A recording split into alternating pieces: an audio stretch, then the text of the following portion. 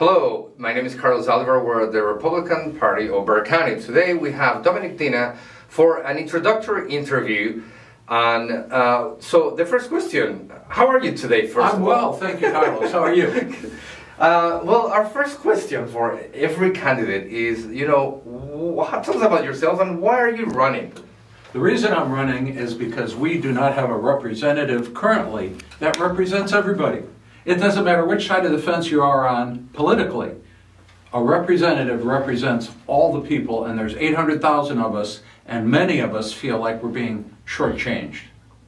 Uh, very good. And uh, another another thing is, uh, what do you think are quali- qualifiers for you running for District 20?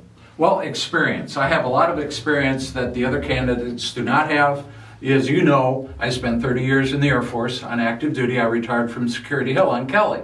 I'm very uh, knowledgeable of budgets and big projects and, and setting up things that run for one year, two year, five years. I've done that a lot. I've been very active in the neighborhood. I'm a former adjunct faculty member at Northwest Vista College. I have a graduate degree and I have a lot of business experience as a real estate broker. And you've been so, So- involved in the Republican Party, Thank which you. is awesome. Thank you. Um, another uh, thing, you know, just give us like three bullet points of issues that are like priorities for you to uh, bring up for uh, whenever you uh, win, if uh, hopefully you win. Yes, yes. Representing Bexar County, number one would be the economy and work on bringing jobs into Bexar County, work with the uh, chambers of commerce. The other thing would be working on border security to make sure Texas and the nation is secure.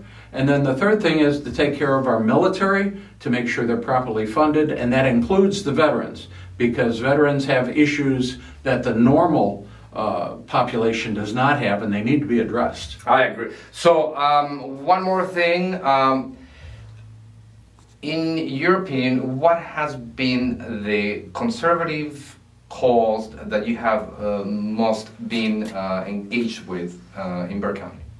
In Bexar County, uh, the conservative cause is uh, voter registration because we should only allow people that are residents uh, of the United States to vote. So that's most important. And right up there, close to that, has been the abortion issue, which I stand against. I always say adoption over abortion. Adoption is the option. I agree with you. So, thank you very much for uh, watching this video. Don't forget to click on the links below because we're going to have more information on Dominic Dina and other candidates. Thank you very much and see you later.